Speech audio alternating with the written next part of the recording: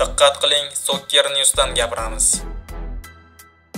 O'tgan mavsumni ikkinchi o'rinda yakunlagan Lans klubi 21 yillik tanaffusdan so'ng yana ko'hna qit'aning eng nufuzli musobaqasi Yevropa Chempionlar Ligasida ishtirok etadi.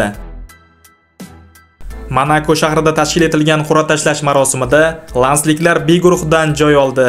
Ushbu kvartetda fransiyaliklar Angliyaning Arsenal, Ispaniyaning Sevilla hamda Niderlandiyaning PSV jamoalari bilan raqobatlashishiga to'g'ri keladi.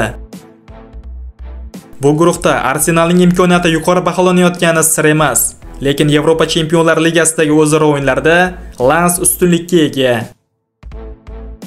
Lans bosh murabbiyi Frank Hayes bo'lajak bahslar haqida o'z fikr-mulohazalarini bildirib o'tdi. Biz 21 yilni, Arsenal 7 yilni Chempionlar Ligasisiz o'tkazdi. Bu gal bo'ladigan to'qnashuv ko'pchilikda eski xotiralarni uyg'otadi.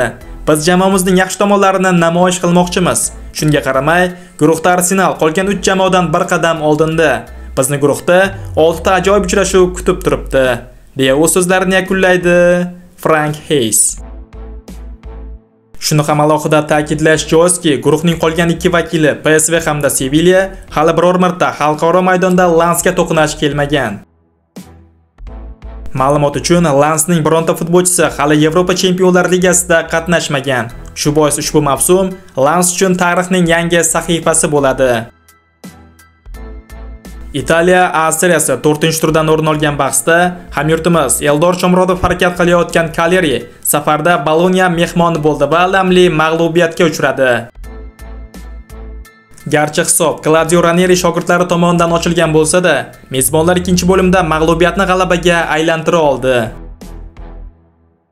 Eldor Shomurodov Kalerining yangi vakili Andre Petani o'rniga maydonga tushib, to'liq bir taym o'ynadi.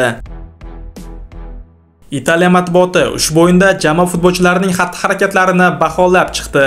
Unga ko'ra Eldor Shomurodov eng past balga loyiq ko'rildi va quyidagicha ta'rif berildi. Umuman foydasiz o'ynadi. O'ziga berilayotgan o'yin vaqtini qadrlash kerak. Murabbiylar berayotgan imkondan foydalanishi shart. Biroq maydondagi harakatlari bu talablarga umuman teskari bo'ldi. To'g'ri, hozir mavsumning boshi. Shomurodov sport formasini tiklab olmagani ko'rinib turibdi. Terma jamoalardagi xalqaro o'yinlar uchun beriladigan tanaffusda yaxshigina ter to'kmasa bo'lmaydi.